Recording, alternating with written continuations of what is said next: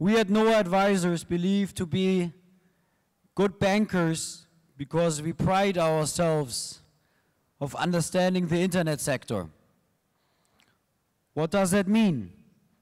Well, it means we try to understand why businesses are successful today and who is going to be successful tomorrow. And as part of that, we're looking at drivers. And yesterday we had a little bit the sessions around apps, the cool stuff, what's happening in advertising. Today we have the, the big sectors, travel, e-commerce, and one of the biggest sectors of the internet is a classified industry. And it's a fascinating industry. Why? Because the players which were big in the past are big today. We saw disruption happening, but really only from online to newspapers. And the online players, the ones who were strong in the past, are still strong.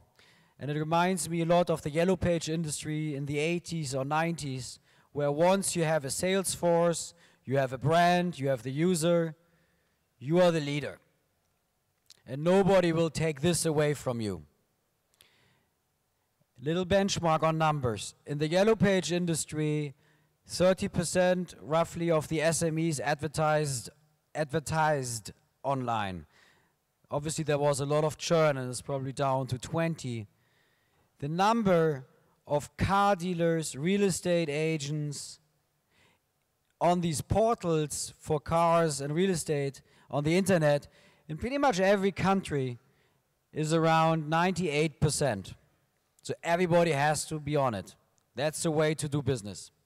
Now, we at Noah, we know that, of course, and the investors know that, but there's one factor which we are interested in, and we haven't found data, which is pricing. How expensive is pricing, and where is it going? And that's the topic of this panel. So as a rule of thumb, a few years ago, around two-thirds of the transaction leads got generated offline, Uh, sorry, online, but online only got around 20%, 15% of the advertising market from the car dealers and real estate agents. Today, it's a little bit different.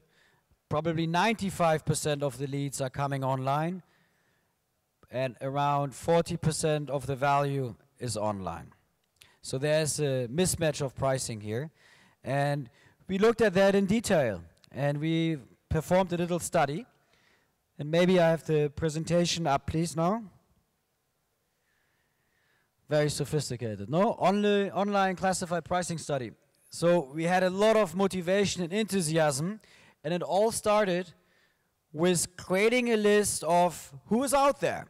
So here you have a matrix which I hope you can't read, which is by country, by category, selected online and offline players. So we had a bit of help. Someone called around and called all of these companies and said, please send us your price lists.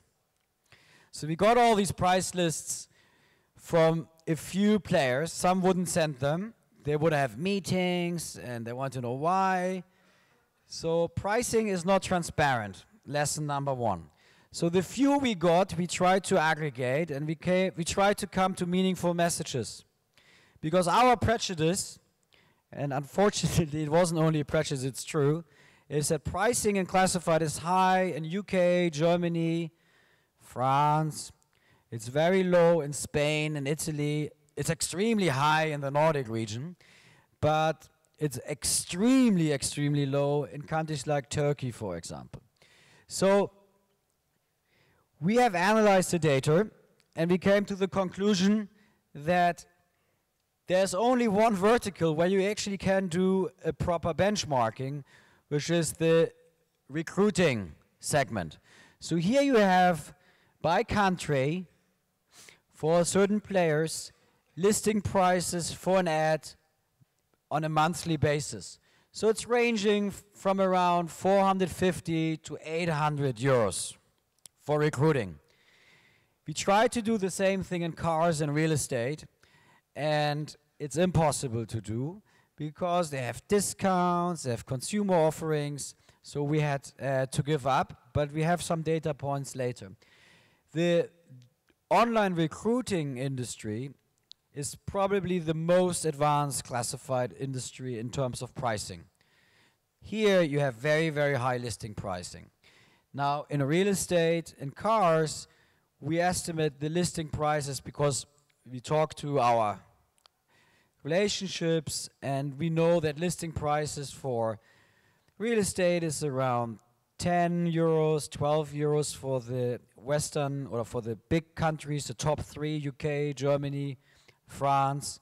And for cars, it's a bit higher because the liquidity is also faster. It's probably more in the regions of 30s, um, far below jobs, as you can see.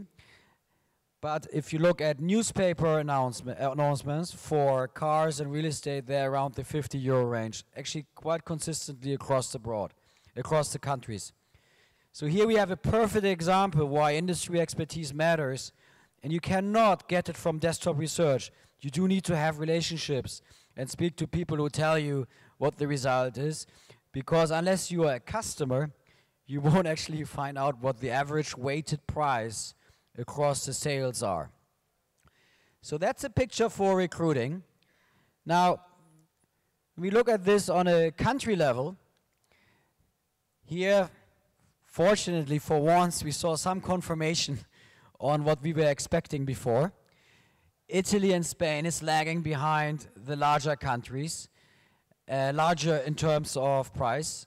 Uh, France is here clearly high, Germany is high, the UK is a bit lower, but the only reason they're a little bit lower is because our sample size was not that meaningful. Monster, and I think the head of Europe is in the room, they wouldn't give us the price list for the UK. I would argue that the UK is probably the highest market, but uh, we don't have the evidence. So this is the price ranges, and the red is the, it's called the unique visitor weighted average price. How sophisticated. Um, here we look at the relation between online and offline. And I think there are a few interesting observations. Uh, one is that online is much more expensive in France than it is France offline, which means that finally people are recognizing that online should be compensated for delivering more leads than newspapers. Uh, in other countries, it's more balanced, like Germany, or the Netherlands. The Netherlands has a very strong newspaper market. And now to the second observation, the UK. Now, I believe the online is not representative because our sample size is not right. But what I'm interested in, and that information I believe is correct, is the red bar of the UK. Here we have a very small number. What is it telling us? Well, it's telling us that the market adjusted not only on the online side, an increased price by delivering more leads over the years, it also shows us that newspapers have adapted or forced to reduce price to fill the space they have. We find this extremely interesting. The third observation, back to Italy and Spain, they're lagging behind on online pricing. Now we come to the last page, and uh, we forgot by mistake to put 2005, but I can tell you 2005 was half of 2006. There was a famous price increase by Immobilien Scout, which is the German leading real estate platform, in 2006. It was June 2006. Um, I remember they doubled prices. And ImmoScout has, I believe, 20 8,000 customers. That's pretty much all the meaningful real estate agents in Germany. Back to the 98% rule. They're all on there. There's, in fact, a, a very famous uh, real estate chain. The, the owner is here. He told me they spend half a million with uh, Immobilien Scout per year. So 2005 pricing was around 1.7 euros and they doubled it to around uh, 3.6, 3.7. You know what the churn was out of these 28,000 customers when they doubled prices in 2006? 14. 14 real estate agent dropped out of 28,000. So some people are saying, oh, that's awesome. I would say as a banker, you should have tripled your prices because that's a very unhealthy too low churn. Now, ImmoScout has been raising prices, and this data we got from searches on the internet, and we are now at around the 10 euros per ad, and that's average across all the packages.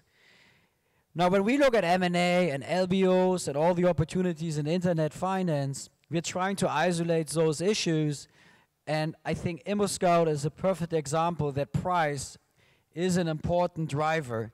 And if you think what happened from 2005 to 2010, rising price almost yeah, six times from 1.7 euros in 2005 up to 10 euros. We just learned one thing. Internet is sticky and it's going to be around for a long time. It's my little intro speech. And now I welcome the panel to come uh, to the stage, please.